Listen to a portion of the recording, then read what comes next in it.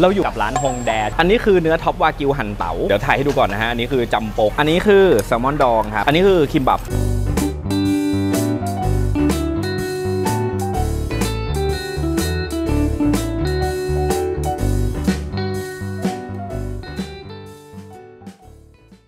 ดีครับ คุณอยู่กับช anel ไลน์แทงช่องของคนชอบกินกับผมโอนะครับ และนี่คือรายการรีวิวอาหารที่ละเอียดยิบเหมือนคนดูได้มากินเอง คลิปนี้ไม่ใช่คลิปสปอนเซอร์จ่ายเงินกินเองทั้งหมดเลยนะฮะ เราอยู่กันที่สยามสแควร์วันชั้น 5 นะครับ กับร้านฮงแดที่เป็นบุฟเฟ่ปิ้งย่างเกาหลี เรามากินในราคาสูงสุด มีเวลาในการกินทั้งหมด 2 ชั่วโมง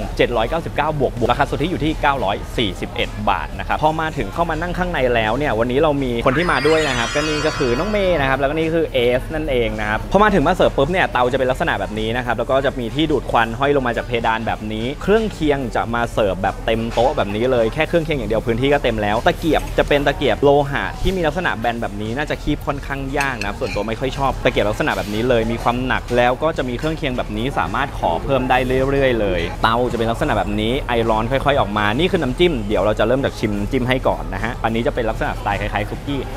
เปรี้ยวนำขึ้นมาตัดด้วยหวานนิดนึงแล้วก็ความเผ็ดขึ้นมาใกล้เคียงกับความเปรี้ยวเลย อันนี้เป็นซอสแบบอันนี้เขาเรียกว่าอะไรอะใครสายเกาหลีลองพิมพ์มาบอกทีนี่เป็นซอสแบบข้นๆเค็มนำขึ้นมากลิ่นของหมักๆขึ้นมามีความถั่วหัวด้วยนิดนึงอันนี้ฮะ จะเป็นเบาๆ สบายๆ มีกลิ่นความคล้ายๆ ความสดชื่นทางผลไม้เล็กน้อย เค็มกับหวานใกล้เคียงกันรสชาติอ่อนๆทีนี้จะพามาดูเล่มเมนูนะครับ วันนี้ที่เรามาชิมก็คือจะเป็นราคา 799 บวกๆอันนี้นะฮะ ราคาอ้อ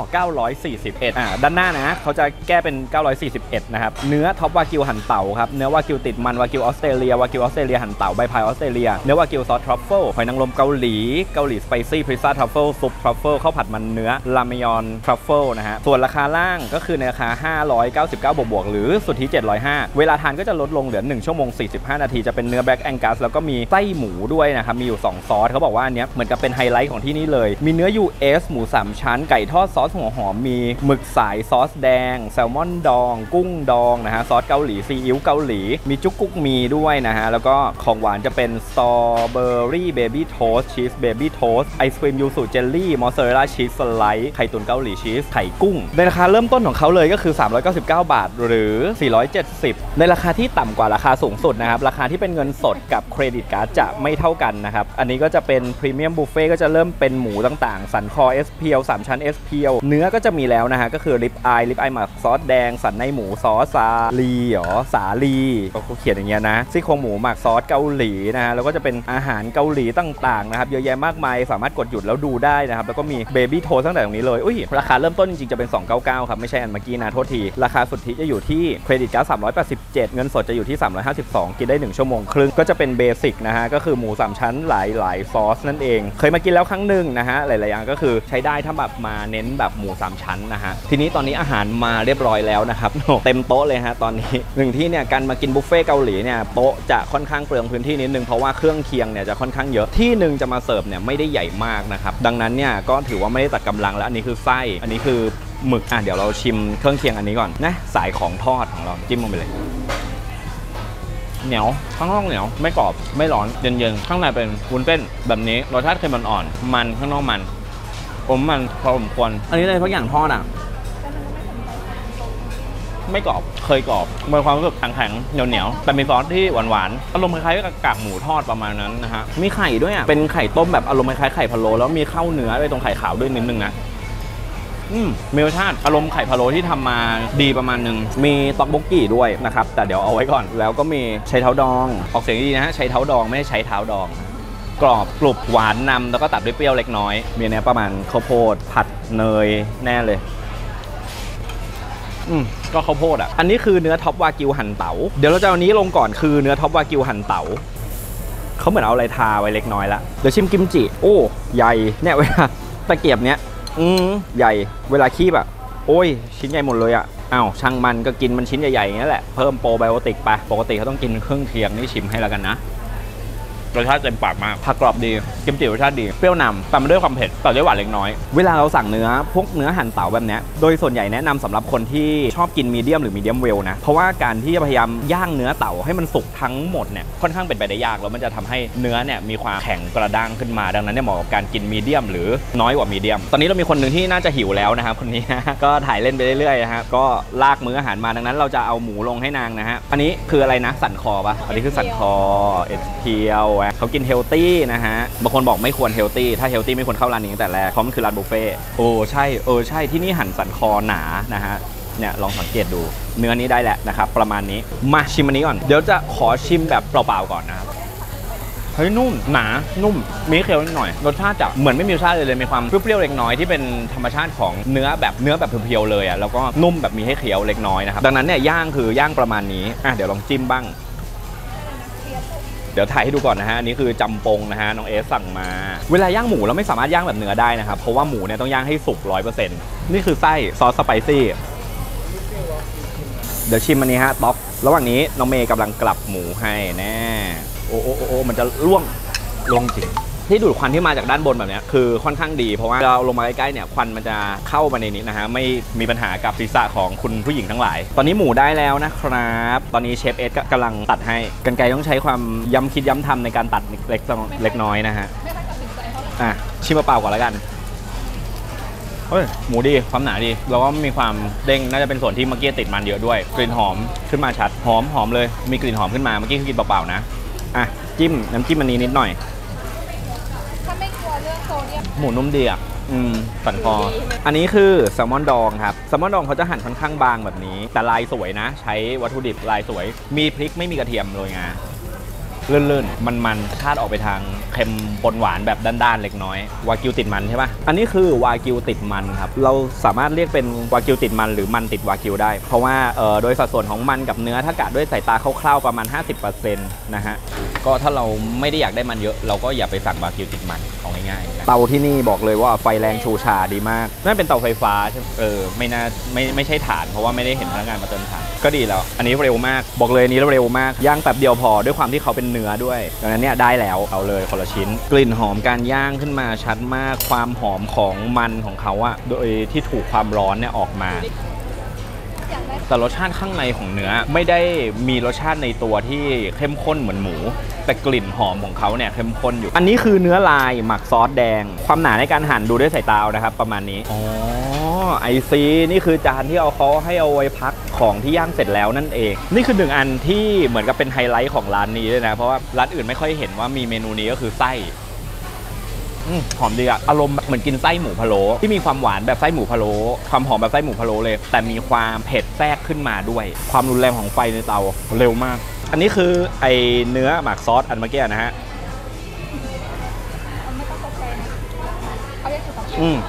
นุ่มแบบมีให้เคี้ยวนิดหน่อยนิดเดียวเท่านั้น แต่เคี้ยวเข้าไปอะขาดง่าย เนื้อมีความข้างในอะเหมือนแห้งแต่มันเป็นความฉ่ำจากซอสอารมณ์ของซอสเนี่ยมีความสักๆลิ้นคล้ายๆ โคจูจังแบบนั้น รสชาติโทนนั้นเลย อันนี้หมึกอู้ ชอบความกระทะของเขาน้องเออมันตายแล้วนะ แต่มันคือการที่โปรตีนมันหดนะฮะจากการถูกความร้อน อันนี้คือเนื้อวากิว truffle sauce ก็ให้ซอสมาแบบท่วมเลยฮะ แล้วตอนนี้กลิ่นทรัฟเฟิลเต็มโต๊ะมาก มาชิมหมึกอันนี้กินเปล่าๆเลยเพราะว่าเขาหมักมาแล้วเค็มนำเหนียวนึบกรอบ รอบๆเล็กน้อย อันนี้คือคิมบับที่ใหญ่มากคิมบับเนี่ยจะต่างกับซูชิของเกาหลีตรงที่คิมบับเนี่ยเขาจะห่อของสุกแล้วซูชิเกาหลีเนี่ยส่วนใหญ่จะเป็นของดิบหรือสุกก็ได้ใช่ไหมแล้วข้าวเขาจะคลุกน้ำส้มส่วนคิมบับเขาจะคลุกน้ำมันงากรุบๆเหนียวนึบฝาลายนิดนึงข้าวกินเข้าไปแล้วมีความสดชื่นเรียงเม็ดสวยดี ไม่จับตัวเป็นก้อน ข้างในมีความกรุบๆไม่ได้รู้สึกถึงวัตถุดิบโปรตีนข้างในเท่าไหร่ก็คือไส้กรอกธรรมดานั่นแหละมีความสบๆของผักแล้วก็อมเปรี้ยวเล็กน้อย อันนี้คือข้าวผัดมันเนื้ออยู่ในราคาสูงสุด เนื้อที่เนี่ยโดยรวมแล้วนะในราคาสูงอะที่เราชิมอะไม่ใช่เนื้อที่แบบลักษณะละลายในปากแต่เป็นเนื้อที่ค่อนข้างดีแล้วก็สมกับราคาอยู่ เนื้อซอสทัฟเฟิลลืมดูเลย อันนี้น่าจะค่อนข้างออกไปทาง medium well แน่นอนเลยพอครบสองด้านอะนะสิ่งที่สำคัญคือ เวลาเราลงย่างอะต้องระวังซอสไหมอืมข้าวผัดมันเนื้อลืมรีวิวเลยทีทีมันมันแผบเลยวับวับจับตานะฮะ แล้วก็ข้าวสวยดี เรียงเม็ดดี มีความหอมมันเนื้อขึ้นมาปานกลางหึโอ้ยเล่นเกม Tetris นี่ วากิวซอสทรัฟเฟิลลิ้นเขาจะโรยเกลือพริกไทยมา เหมือนมีน้ำมันงาด้วยนิดนึงหอยนางรมจะเป็นหอยนางรมสไตล์เกาหลีชิ้นตัวดึงใหญ่มากเลยนะฮะแต่หอยนางรมสไตล์เกาหลีกับญี่ปุ่นเนี่ยจะเป็นหอยนางรมที่มีกลิ่นในตัวที่เป็นเอกลักษณ์ขึ้นมาชัดเจนในลักษณะของเขาเองดังนั้นเนี่ยคนที่ไม่ชอบกินแล้วแบบมีกลิ่นของหอยนางรมเนี่ยส่วนใหญ่เขาจะกินพวกหอยนางรมสุราษฎร์อะไรแบบนี้แทนหอยนางรมไทยจะไม่ค่อยมีกลิ่น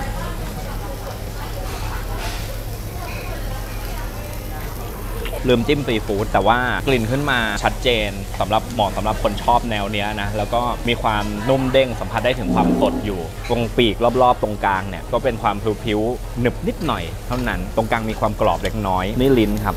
ตอนนี้นะฮะเรากำลังปวดหัวกับพื้นที่สัมปทานของโต๊ะมากเลย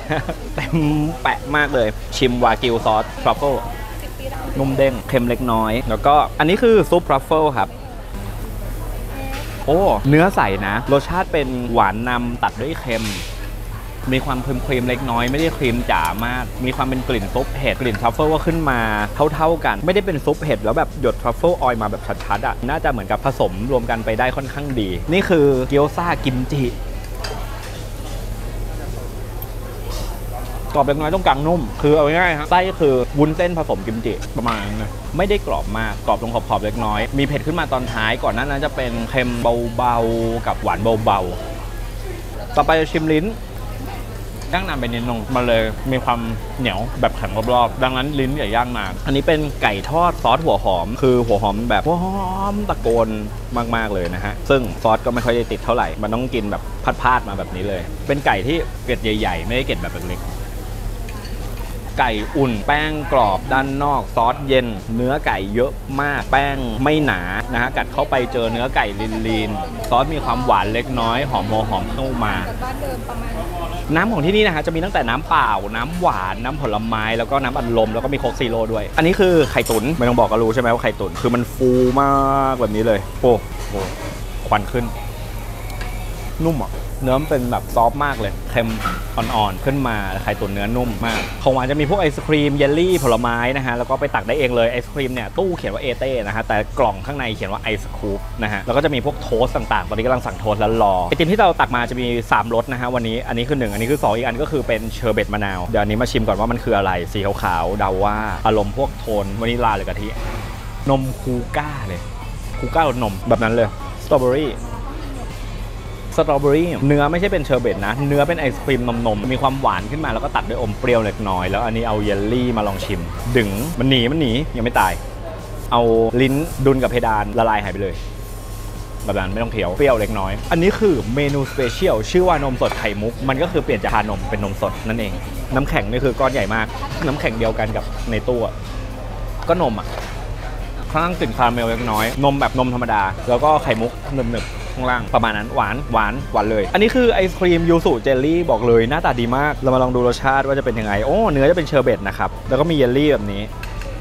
อืมหวานยูสุสดชื่นกลิ่นหอมยูสุขึ้นมาเลยเจลลี่คือแบบเด้ง มีให้กัดแล้วขาดยูสุหอมหวานตัดด้วยเปรี้ยวเล็กน้อยอืมกลิ่นหอมยูสุขึ้นมา แล้วไอ้เนื้อที่ให้เคี้ยวอะมีให้เคี้ยวลักษณะเหมือนเคี้ยวบ๊วยเค็มแต่มันน่าจะเป็นผิวยูสุอันนี้คือ cheese toast ก็จะเป็น toast อันใหญ่หั่นครึ่งนะฮะอ่ามีคอนเฟลกมีไอติมใช่ไหมไอติมน่าจะเป็นชาไทย ส่วนนี้เดาว่าน่าจะเป็น maple syrup ไม่ได้หนืดแบบน้ำผึ้งน่าจะเป็น maple syrup ชิมอันนี้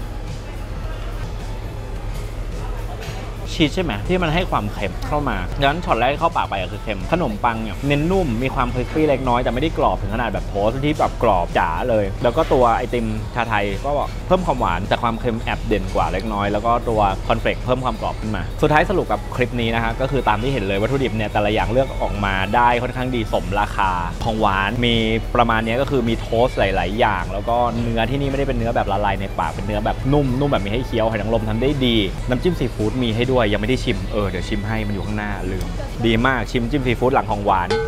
เผ็ดนำตัดด้วยเค็มไม่ใช่หวานเปรี้ยวเค็มนำขึ้นมา แล้วก็เผ็ดประมาณนั้นนะฮะเปรี้ยวตามเค็มขึ้นมาอีกทีหนึ่งวัตถุดิบมีหลายอย่าง ดังนั้นเนี่ยถ้าใครชอบแนวนี้ก็ลองมากินดูแล้วกัน แล้วก็ถ้าสมมติใครมาวันอื่นเหมือนไม่เหมือนยังไงชอบไม่ชอบมา comment กันเอาไว้ใต้คลิปเลยนะฮะแต่ถ้าสมมติว่าใครกินอาหารตามเราแล้วรู้สึกน้ำหนักขึ้นแล้ว control ไม่ได้อยากให้โอกะเมย์ช่วยดูแลเรามีประสบการณ์เรื่องนี้มา 8 ปี และเราสองคนออกแบบโปรแกรมลดน้ำหนักที่ออกแบบเฉพาะบุคคลเลยใช้ธรรมชาติใช้อาหารไม่ใช้ยาเลย ไม่มีสารเคมีดังนั้นเนี่ยทักมาคุยกันก่อนได้ออกแบบตามไลฟ์ฟ์สไตล์ออกแบบตามวิถีชีวิตของช่องดังนั้นเนี่ยต้องอาศัยการมาคุยกันก่อนขั้นตอนการคุยทั้งหมดไม่มีค่าใช้จ่ายแต่อย่างใดนะฮะแล้วก็ค่อยมาตกลงว่าต้องกินอะไรทำอะไรใช้ชีวิตยังไง ค่าใช้จ่ายเป็นไง ถ้าพร้อมก็ค่อยตัดสินใจลงโปรแกรมให้เราดูแลอีกครั้งหนึ่งนะฮะมาคุยกับน้องเมย์ได้ที่ไลน์ Melomomay M E L O M O M A Y เข้ามาพูดคุยกันได้เลยนะฮะและถ้าใครอยากติดตามเรื่องของการพัฒนา soft skill การพัฒนาตัวเองนะฮะ Facebook Page ครูพี่โอได้เลยนะฮะแล้วก็หรือจะเป็นช่อง YouTube อันเดียวกันก็ได้ แล้วถ้าใครอยากพูดคุยกันเกี่ยวกับร้านบุฟเฟ่ทิ้งพิกัดไว้ให้เราไปรีวิว Facebook Group นะครับลายแทงเวนวักบุฟเฟ่ได้เลย แล้วสุดท้ายก็กดติดตามกดไลค์กดแชร์ช่องนี้เอาไว้ แล้วเจอกันทุกๆวันอังคารและวันศุกร์ตอน5โมงครึ่งอย่าลืมกดกระดิ่งด้วยนะครับแล้วเจอกันใหม่คลิปหน้าวันนี้ไปก่อนแล้วบ๊ายบายครับ สวัสดีครับ